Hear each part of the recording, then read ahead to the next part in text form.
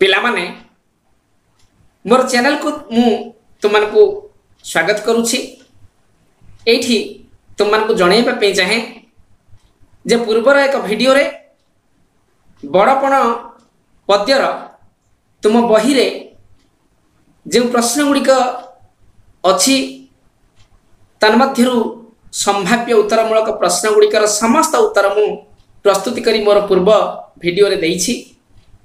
ହୁଏତ ଅନେକ ତୁମମାନଙ୍କ ମଧ୍ୟରୁ ଏହାକୁ ଦେଖି ସାରିବଣି ଏବଂ ଯେଉଁମାନେ ଦେଖିନଥିବ ସେମାନେ ଦେଖିବ ନିଶ୍ଚିତ ଭାବରେ ତୁମର ପରୀକ୍ଷାରେ ତାହା କାମରେ ଆସିବ। ତେବେ ଏ ଭିଡ଼ିଓରେ ଏକ ନମ୍ବରିଆ ପ୍ରଶ୍ନ ଗୁଡ଼ିକ ଯାହା ଦେଇଛି ତୁମର ବହିରେ ସେଇ ବଡ଼ପଣ ପଦ୍ୟରୁ ତାହା ମୁଁ ପ୍ରସ୍ତୁତ କରିଛି। ଏହାକୁ ଭଲ ଭାବରେ ଦେଖିବ ଭାବୁଛି ନିଶ୍ଚିତ ଭାବରେ ଏସବୁ ତୁମମାନଙ୍କର ଆଗାମୀ ପରୀକ୍ଷା ପାଇଁ ଅନେକ ଫଳପ୍ରଦ ନିଶ୍ଚିତ ହେବ। ତେବେ ଆରମ୍ଭ କରିବା। ପ୍ରଥମ ପ୍ରଶ୍ନ କ'ଣ ଅଛି ଦେଖିବା। ପ୍ରଥମ ପ୍ରଶ୍ନ ଅଛି ବଡ଼ପଣ କବିତା ରାଧାନାଥଙ୍କ କେଉଁ କାବ୍ୟରୁ ଆସିଅଛି? ପିଲାଏ ଏହାକୁ ଗୋଟିଏ ବାକ୍ୟରେ ଉତ୍ତର ଦେବାକୁ ପଡ଼ିବ ଯାହାର ମାର୍କ ରହିବ ଏକ ନମ୍ବର। ତେଣୁ ଆମକୁ କିଭଳି ଭାବରେ ଲେଖିବାକୁ ପଡ଼ିବ ତାହା ତୁମାନେ ଲକ୍ଷ୍ୟ କର। ଉତ୍ତର ଲେଖିବା। ବଡ଼ପଣ କବିତା ରାଧାନାଥଙ୍କ ଦରବାର କାବ୍ୟରୁ ଆସିଅଛି। ପରବର୍ତ୍ତୀ ବା ଦୁଇ ନମ୍ବର ପ୍ରଶ୍ନ।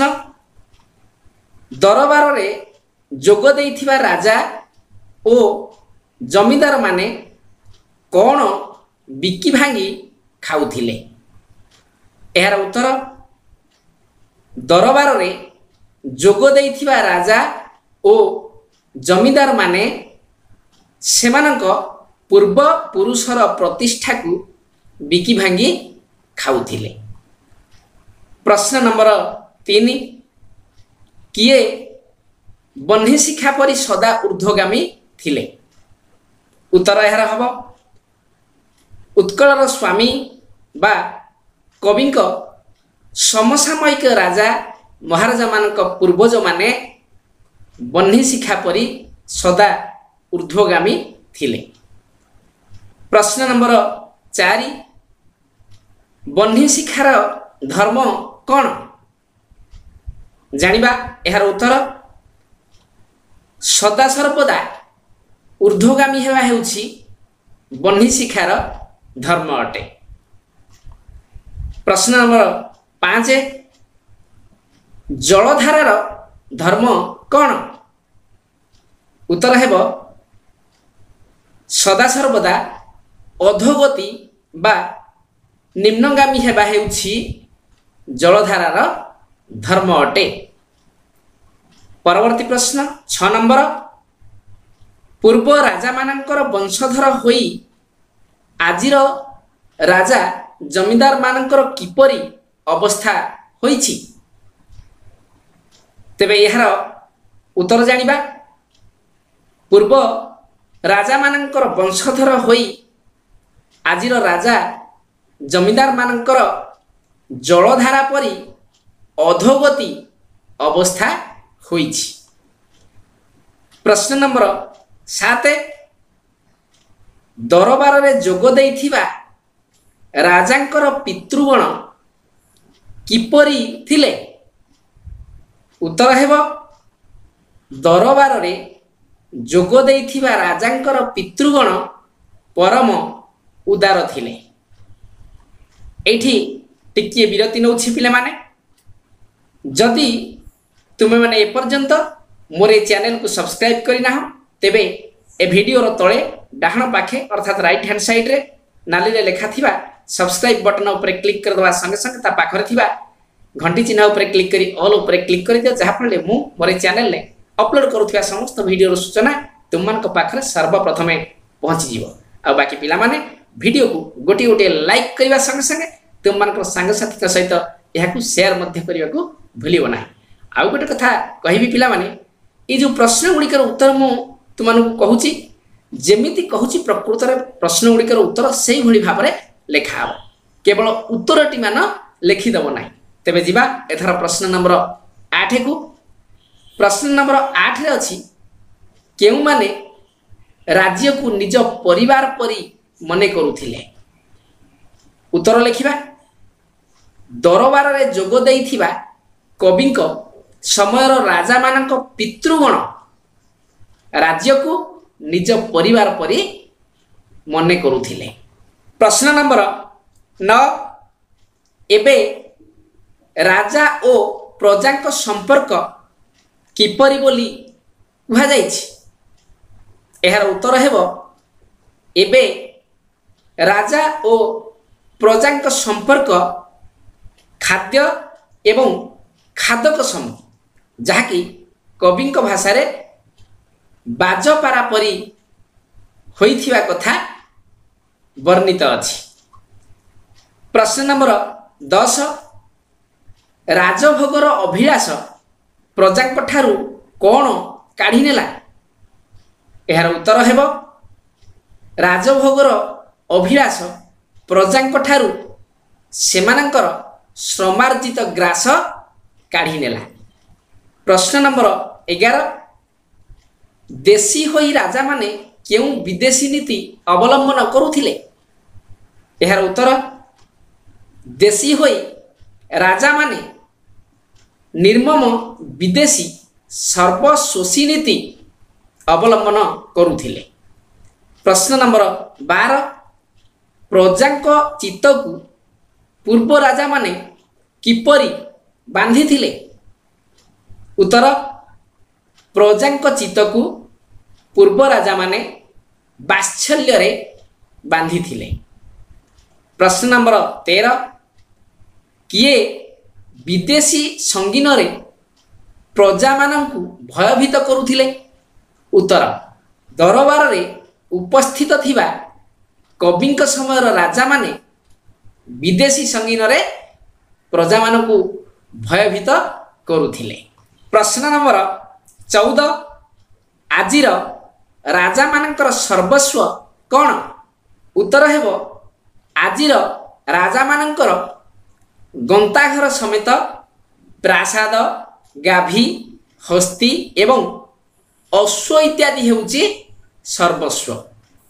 ପ୍ରଶ୍ନ ନମ୍ବର ପନ୍ଦର ଆଜିର ରାଜଧର୍ମ କିପରି ବୋଲି କୁହାଯାଇଛି?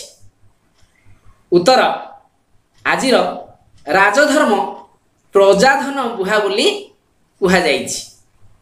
ପ୍ରଶ୍ନ ନମ୍ବର ଷୋହଳ କେଉଁମାନଙ୍କୁ କାନ କୁହା ବୋଲି କବି କହିଛନ୍ତି?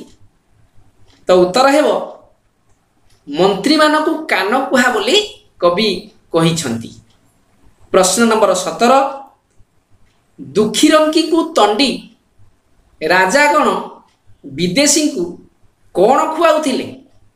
ଏହାର ଉତ୍ତର ହେବ ଦୁଃଖୀରଙ୍କିଙ୍କୁ ତଣ୍ଡି ରାଜାଗଣ ବିଦେଶୀଙ୍କୁ କୁକୁଟାଣ୍ଡ ଖୁଆଉଥିଲେ। ପ୍ରଶ୍ନ ନମ୍ବର ଅଠର କାଣ୍ଡପୃଷ୍ଠ ହୁଣ୍ଡା ବୋଲି କେଉଁମାନଙ୍କୁ କୁହାଯାଇଛି? ତ ଉତ୍ତର ହେବ କାଣ୍ଡପୃଷ୍ଠ ହୁଣ୍ଡା ବୋଲି ଜ୍ଞାନଶୂନ୍ୟ ଅସ୍ତ୍ର ବ୍ୟବସାୟୀମାନଙ୍କୁ କୁହାଯାଇଛି। ପ୍ରଶ୍ନ ନମ୍ବର ଉଣେଇଶ ପ୍ରଜାଙ୍କ ମଧ୍ୟରେ କିଏ ପାପ ବୃଦ୍ଧିକୁ ମନାସୁଥିଲେ?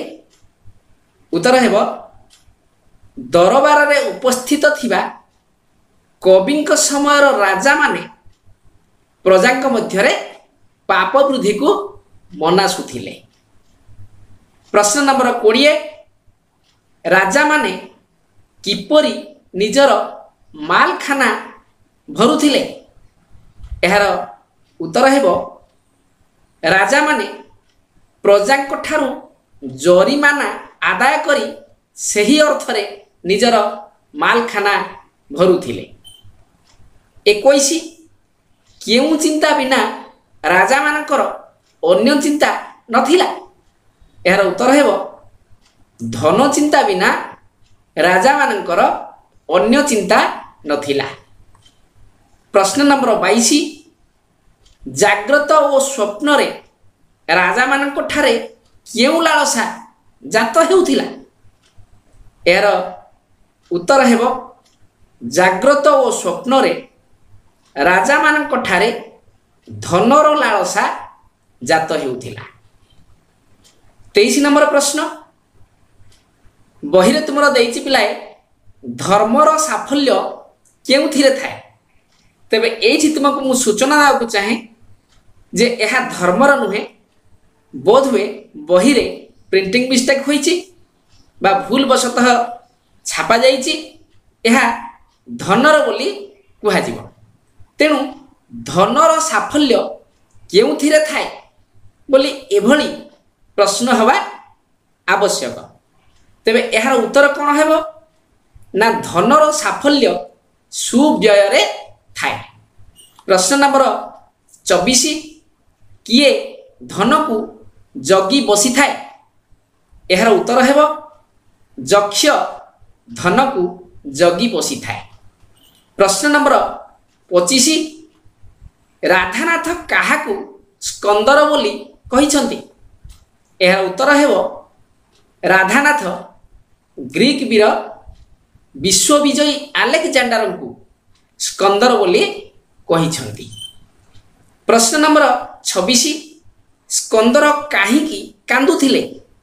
ଏହାର ଉତ୍ତର ହେବ ଜିଣିବାକୁ ଧରାରେ ଆଉ ଖଣ୍ଡେ ବି ସ୍ଥାନ ନଥିବାରୁ ସ୍କନ୍ଦର କାନ୍ଦୁଥିଲେ। ସତେଇଶ ନମ୍ବର ପ୍ରଶ୍ନ ଆସିଥିଲି ଫେରିଗଲି ଶୂନ୍ୟ ହସ୍ତେ କିଏ କହିଛନ୍ତି? ଏହାର ଉତ୍ତର ହେବ ଗ୍ରୀକ୍ ବୀର ବିଶ୍ୱବିଜୟୀ ଆଲେକଜାଣ୍ଡାର ବା କବିଙ୍କ ଭାଷାରେ ସ୍କନ୍ଦର ଆସିଥିଲି ଫେରିଗଲି ଶୂନ୍ୟ ହସ୍ତେ ବୋଲି କହିଛନ୍ତି। ପ୍ରଶ୍ନ ନମ୍ବର ଅଠେଇଶ ଲକ୍ଷ୍ୟ ଶୋଷୀ ବୋଲି କାହାକୁ କୁହାଯାଇଛି? ଏହାର ଉତ୍ତର ହେବ ଦରବାରରେ ଉପସ୍ଥିତ ଥିବା କବିଙ୍କ ସମୟର ଅତ୍ୟାଚାରୀ ରାଜାମାନଙ୍କୁ ଲକ୍ଷ୍ୟ ଶୋଷୀ ବୋଲି କୁହାଯାଇଛି। ଅଣତିରିଶ ନମ୍ବର ପ୍ରଶ୍ନ ରାଜା ଓ ଜମିଦାରମାନେ କାହିଁକି ପ୍ରଜାଙ୍କୁ ଶୋଷଣ କରନ୍ତି? ଉତ୍ତର ହେବ ରାଜା ଓ ଜମିଦାରମାନେ ଗଣିକା ଓକିଲ ଏବଂ ଛାମୁଆଙ୍କ ପୋଷଣ ପାଇଁ ପ୍ରଜାଙ୍କୁ ଶୋଷଣ କରନ୍ତି। ପ୍ରଶ୍ନ ନମ୍ବର ତିରିଶ ପାପବିତ କିପରି ଅର୍ଜିତ ହୁଏ? ଉତ୍ତର ହେବ ପ୍ରଜାମାନଙ୍କର ରକ୍ତ ସ୍ୱେଦ ଓ ଲୋତକରୁ ପାପବିତ ଅର୍ଜିତ ହୁଏ। ପ୍ରଶ୍ନ ନମ୍ବର ଏକତିରିଶ ଭଙ୍ଗା ମାଠିଆରୁ ପାଣି ବୋହିଗଲା ପରି କ'ଣ ପ୍ରତିକ୍ଷଣରେ ବୋହି ଯାଉଅଛି? ଉତ୍ତର ହେବ ଭଙ୍ଗା ମାଠିଆରୁ ପାଣି ବୋହିଗଲା ପରି ଆୟୁ ପ୍ରତିକ୍ଷଣରେ ବୋହି ଯାଉଅଛି। ବତିଶ ନମ୍ବର ପ୍ରଶ୍ନ କାଳ କିପରି? ଉତ୍ତର କାଳ ବଡ଼ କ୍ରୂର ଏବଂ ଅବିଶ୍ୱାସୀ। କାହାକୁ ଅବିଶ୍ୱାସ ବୋଲି କୁହାଯାଇଛି? ଉତ୍ତର ହେବ କ୍ରୂର କାଳକୁ ଅବିଶ୍ୱାସୀ ବୋଲି କୁହାଯାଇଛି। ଚଉତିରିଶ ନମ୍ବର ପ୍ରଶ୍ନ କିଏ ହଠାତ୍ ଆସି ହାବୁଡ଼ି ଯିବ ବୋଲି କୁହାଯାଇଛି? ଉତ୍ତର କ୍ରୂର କାଳ ହଠାତ୍ ଆସି ହାବୁଡ଼ି ଯିବ ବୋଲି କୁହାଯାଇଛି। ପଇଁତିରିଶ ନମ୍ବର କାହା ପଛରେ କାଳ ଲୁଚି ବସିଥାଏ? ଉତ୍ତର ହେବ କାଳ ଅନେକ ଦୂରରେ ଥିବା କଥା ଭାବି ଯେ ହସେ ତା ପଛରେ କାଳ ଲୁଚି ବସିଥାଏ। ଛତିଶ ନମ୍ବର ପ୍ରଶ୍ନ ଛାୟା କେତେବେଳେ ବଢ଼ିଯାଏ? ଉତ୍ତର ହେବ ସୂର୍ଯ୍ୟ ଅସ୍ତଗାମୀ ହେବା ସମୟରେ ଛାୟା ବଢ଼ିଯାଏ।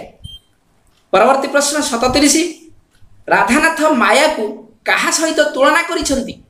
ଉତ୍ତର ହେବ ରାଧାନାଥ ମାୟାକୁ ଛାୟା ସହିତ ତୁଳନା କରିଛନ୍ତି। ଅଠତିରିଶ ନମ୍ବର ମାୟାର ଚେର ଭେଦିଗଲେ କି କ୍ଷତି ହୁଏ ଉତ୍ତର ହେବ ମାୟାର ଚେର ଭେଦିଗଲେ ଅନ୍ତକ ରଗଡ଼ି ଝିଙ୍କିଥାଏ ପ୍ରଶ୍ନ ନମ୍ବର ଅଣଚାଳିଶ ଅନ୍ତକ କିଏ ଏହାର ଉତ୍ତର ହେବ ଅନ୍ତକ ମୃତ୍ୟୁର ଦେବତା ଯମରାଜ ଅଟନ୍ତି। ଚାଳିଶ ନମ୍ବର ପ୍ରଶ୍ନ ବେଳ ଥାଉ କ'ଣ ଅର୍ଜନ କରିବାକୁ କବି ପରାମର୍ଶ ଦେଇଛନ୍ତି?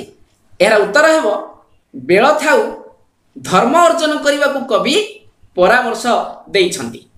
ଏକଚାଳିଶ ସଂସାରରେ ଜନ୍ମ ଫଳରୁ କ'ଣ ଅର୍ଜନ ହୁଏ? ଏହାର ଉତ୍ତର ହେବ ସଂସାରରେ ଜନ୍ମ ଫଳରୁ ବଡ଼ପଣ ଅର୍ଜନ ହୁଏ। ପରବର୍ତ୍ତୀ ପ୍ରଶ୍ନ ବୟାଳିଶ ବଡ଼ପଣ କିପରି ଚିରସ୍ଥାୟୀ ହୁଏ? ଏହାର ଉତ୍ତର ହେବ ବଡ଼ପଣ ଧର୍ମ ଫଳରେ ଚିରସ୍ଥାୟୀ ହୁଏ। ତେୟାଳିଶ ନମ୍ବର ପ୍ରଶ୍ନ ବିଧାତା କି ପୋତ ଗଢ଼ିଛନ୍ତି? ଉତ୍ତର ହେବ ବିଧାତା ଧର୍ମ ନାମକ ପୋତ ଗଢ଼ିଛନ୍ତି। ଚଉରାଳିଶ ନମ୍ବର ପ୍ରଶ୍ନ ଭଗବାନ କାହିଁକି ଧର୍ମର ପୋତ ଗଢ଼ିଛନ୍ତି? ଉତ୍ତର ହେବ ଭଗବାନ ସଂସାର ରୂପକ ବାରିଧିକୁ ତରିବା ପାଇଁ ଧର୍ମର ପୋତ ଗଢ଼ିଛନ୍ତି। ପଇଁଚାଳିଶ ସଂସାରକୁ କବି କାହା ସହିତ ତୁଳନା କରିଛନ୍ତି? ଉତ୍ତର ହେବ ସଂସାରକୁ କବି ବାରିଧି ସହିତ ତୁଳନା କରିଛନ୍ତି। ଛୟାଳିଶ ସଂସାରରେ ମହତପଣିଆ କ'ଣ? ଉତ୍ତର ହେବ ସଂସାରରେ ମହତପଣିଆ କେବଳ ଧର୍ମ ଅଟେ। ସତଚାଳିଶ ନମ୍ବର ପ୍ରଶ୍ନ ସଂସାରର ସବୁ ବଡ଼ପଣକୁ କବି କ'ଣ ବୋଲି କହିଛନ୍ତି? ଉତ୍ତର ହେବ ସଂସାରର ସବୁ ବଡ଼ପଣକୁ କବି ଅଢ଼େଇ ଦିନିଆ ବୋଲି କହିଛନ୍ତି। ଅଠଚାଳିଶ ଦୁଇଲୋକ ସାଧନୀ ବୋଲି କବି କାହାକୁ କହିଛନ୍ତି? ଉତ୍ତର ହେବ ଦୁଇଲୋକ ସାଧନୀ ବୋଲି କବି ଧର୍ମ ରୂପକ ବଡ଼ପଣକୁ କହିଛନ୍ତି। ଅଣଚାଶ କେଉଁ ବଡ଼ପଣରେ ମତି ବଳାଇବାକୁ କବି ପରାମର୍ଶ ଦେଇଛନ୍ତି? ଉତ୍ତର ହେବ ଯେଉଁ ବଡ଼ପଣ ଅନ୍ତେ ସୁଦ୍ଧା ସଂସାରରେ ସୌରଭ ସମ ଚହଟିବା ସଙ୍ଗେ ସଙ୍ଗେ ଦୁଇ ଲୋକର ହିତ ସାଧନ ସମେତ ଅନ୍ତକର ବଜ୍ରଦାନ୍ତ ଭାଙ୍ଗିଦେବା ପରି ତାକୁ ପାଖକୁ ମଡ଼ାଇ ଦିଏନି ସେହି ବଡ଼ପଣରେ ମତି ବଳାଇବାକୁ କବି ପରାମର୍ଶ ଦେଇଛନ୍ତି। ଏବଂ ପ୍ରଶ୍ନ ନମ୍ବର ପଚାଶ କେଉଁଥିରେ ମନ ବାହୁଡ଼ାଇ ନେବା ପାଇଁ କବି ରାଜାମାନଙ୍କୁ ପରାମର୍ଶ ଦେଇଛନ୍ତି? ଉତ୍ତର ହେବ ସଂସାରର ତ୍ୱକସାର ବଡ଼ପଣର ଲାଳସାରୁ ମନ ବାହୁଡ଼ାଇ ନେବା ପାଇଁ କବି ରାଜାମାନଙ୍କୁ ପରାମର୍ଶ ଦେଇଛନ୍ତି। ଏବଂ ଶେଷ ନମ୍ବର ବା ଏକାବନ ନମ୍ବର ପ୍ରଶ୍ନ ନିଜେ ଉଚ୍ଚ ହୋଇ କ'ଣ ଲାଭ କରିବା ପାଇଁ କବି ରାଜାମାନଙ୍କୁ ପରାମର୍ଶ ଦେଇଛନ୍ତି? ଉତ୍ତର ହେବ ନିଜେ ଉଚ୍ଚ ହୋଇ ଉଚ୍ଚତର ଗତି ଲାଭ କରିବା ପାଇଁ କବି ରାଜାମାନଙ୍କୁ ପରାମର୍ଶ ଦେଇଛନ୍ତି। ତେବେ ପିଲାଏ ଏଇ ଏକ ନମ୍ବରିଆ ପ୍ରଶ୍ନର ଉତ୍ତର ସବୁଗୁଡ଼ିକ ସରିଯାଇଛି ପୁଣି ପରବର୍ତ୍ତୀ ଭାଗରେ ଆମେ ଆଗକୁ ଆଉ କିଛି ପ୍ରଶ୍ନ ଉତ୍ତର ଆଲୋଚନା କରିବା।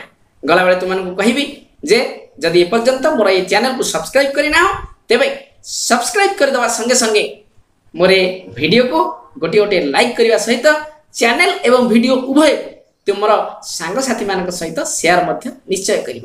ତେବେ ପିଲାମାନେ ପରବର୍ତ୍ତୀ ଭାଗର ଭିଡ଼ିଓ ପର୍ଯ୍ୟନ୍ତ ଅପେକ୍ଷା କରି ତୁମମାନଙ୍କର ସୁଖ ଏବଂ ଶାନ୍ତି କାମନା କରି ଏଇଠି ରହୁଛି। ଧନ୍ୟବାଦ ପିଲାମାନେ।